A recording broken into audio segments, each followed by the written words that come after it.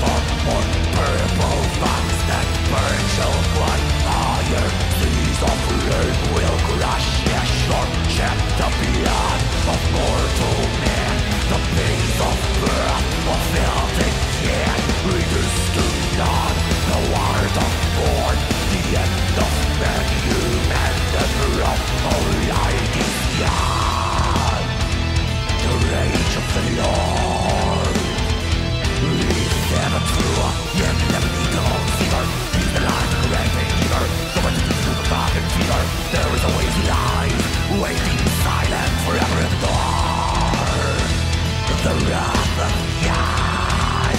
That is being failure. Suffering of God from every true believer. No need to assure the warfare achiever. Even prostrate out of the believer. Because I'm going inside you there. And speaking at an open door.